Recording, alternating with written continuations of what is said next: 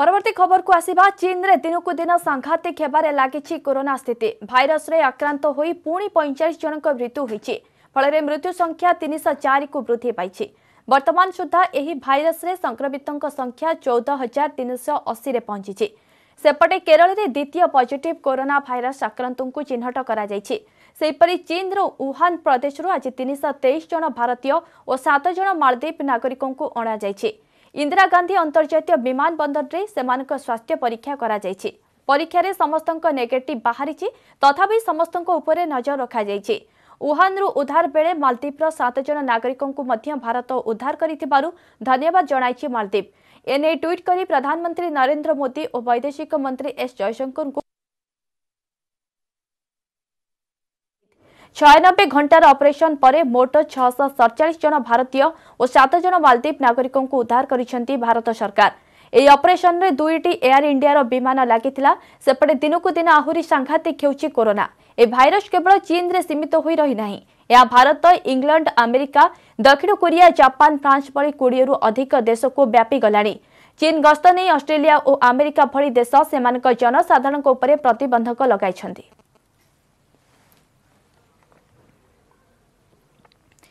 বর্তমান news eighteen national bureau editor Shailendra Wangoo আমার সহ অনলাইনে जोड़ी होती शैलेन्द्र चीन में कोरोना वायरस बहुत ही खतरनाक स्तर पर पहुँच गया है। इस पर अभी अपडेट क्या है?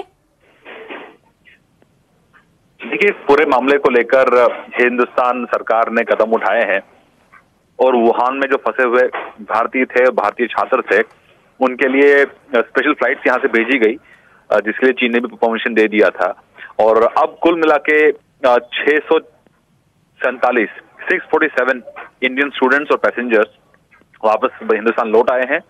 हालाँकि इनको अभी क्वारंटाइन में रखा जाएगा, दो हफ़्ते के लिए इनको निगरानी में रखा जाएगा। और साथ ही साथ उनके लिए फैसिलिटीज़ यहाँ क्रिएट की गई है, मानेसर में और छावड़ा में, जहाँ पर दो हफ्तों के लिए इन पर निगरानी रखी जाएगी। और अगर किसी के कोई भी अगर संक्रमित पाया जाता है इन्फेक्टेड पाया जाता है कोरोना वायरस से तो उसको आइसोलेशन वार्ड में रखा जाएगा। बाद में उनका उपचार भी किया जाए जिसके लिए फैसिलिटीज़ क्रिएट की गई हैं। इसके बाद अब देखना ये होगा अगर कोई और भी भारतीय वापस लौटना चाहता हो उसके लिए भी देखा जाएगा कि अगर कोई और इंतज़ाम करना पड़े तो वो किया जा सकता है। जी बिल्कुल। चीन में अभी कितने इंडियंस है और फिर एयरलिफ्ट करने के बारे में क्या सुनने सुनने में आया आ रहा है? देखिए शुरुआत में जो हमारे जानकारी है उसके मुताबिक इंडियन गवर्नमेंट ने चाइना से दो फ्लाइट्स ऑपरेट करने के लिए रिक्वेस्ट किया था और वो दोनों फ्लाइट्स जो हैं वो ऑपरेट कर चुकी हैं वो वुहान से भारत लौट चुकी हैं। तो ऐसे में अभी नए नई फ़्लाइट को लेके अगली फ़्लाइट को लेके कोई जानकारी नहीं है। आ, लेकिन अगर ज़रूरत पड़ेगी तो ज़ाहिर तौर पर हर बार मोदी सरकार जब भी कोई भारतीय संकट में होता है विदेश में तो मोदी सरकार आगे आके उनकी मदद के लिए हमेशा तैयार रहती है। लेकिन फ़िलहाल अगली फ़्लाइट को लेकर कोई जानकारी नहीं।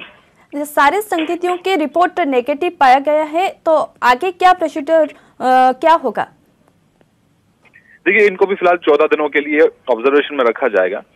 और अगर इनमें से किसी में भी अगर जो उनके जो टेस्ट कराए जाएँगे, और दो दो बार डुअल टेस्ट होंगे, दोनों सैंपल्स अगर नेगेटिव आते हैं तो दो हफ़्ते बाद उनको अपने घर जाने दिया जाएगा। लेकिन अगर किसी में भी संक्रमण पाया जाता है क्योंकि भारत में अभी तक दो केसेस कंफर्म हुए हैं कोरोना वायरस के, और दोनों केरल में हैं। और दोनों जो स्टूडेंट्स थे, केरल में जो लौट आए थे, वो दोनों स्टूडेंट्स जो है इफेक्टेड पाए गए हैं। तो ज़ाहिर तौर पर ऐसे में गवर्नमेंट चांस नहीं लेना चाहेगी क्योंकि आउटब्रेक है। और डब्ल्यू ने भी इसे कहा है कि इमरजेंसी सिचुएशन है पूरे देश के पूरे दुनिया के लिए। तो ऐसे में ज़ाहिर तौर पर इनके टेस्ट कराए जाएँगे, उसके बाद कंफर्मेशन के बाद ही इनको अपने घरों के लिए भेजा जाएगा। ओके okay, शुक्रिया ଏଥିରେ news eighteen national bureau editor Shailendra ୱାଙ୍କୁ ଯିଏକି ଅଧିକ ସୂଚନା ଦେଉଥିଲେ କି ଚୀନରେ ଦିନକୁ ଦିନ ସାଂଘାତିକ ହେବାରେ ଲାଗିଛି କରୋନା ସ୍ଥିତି ଏବଂ ଭାଇରସରେ ଆକ୍ରାନ୍ତ ହୋଇ ପୁଣି ପଇଁଚାଳିଶ ଜଣଙ୍କର ମୃତ୍ୟୁ ଘଟିଛି ଅପରପକ୍ଷରେ ଯଦି ଦେଖିବା କେରଳରେ ଦ୍ୱିତୀୟ ପଜିଟିଭ୍ କରୋନା ଭାଇରସ ଆକ୍ରାନ୍ତକୁ ଚିହ୍ନଟ କରାଯାଇଛି ଚୀନର ଉହାନ ପ୍ରଦେଶରୁ ଆଜି ତିନିଶହ ତେଇଶ ଜଣ ଭାରତୀୟ ଏବଂ ସାତ ଜଣ ମାଲଦ୍ୱୀପ ନାଗରିକଙ୍କୁ ଅଣାଯାଇଛି। ଆଜି ଇନ୍ଦିରା ଗାନ୍ଧୀ ଅନ୍ତର୍ଜାତୀୟ ବିମାନ ବନ୍ଦରରେ ସେମାନଙ୍କ ସ୍ୱାସ୍ଥ୍ୟ ପରୀକ୍ଷା କରାଯାଇଛି ଏବଂ ପରୀକ୍ଷାରେ ସମସ୍ତଙ୍କର ନେଗେଟିଭ୍ ବାହାରିଛି। ତଥାପି ତାଙ୍କ ଉପରେ ସମସ୍ତଙ୍କର ନଜର ରହିଛି।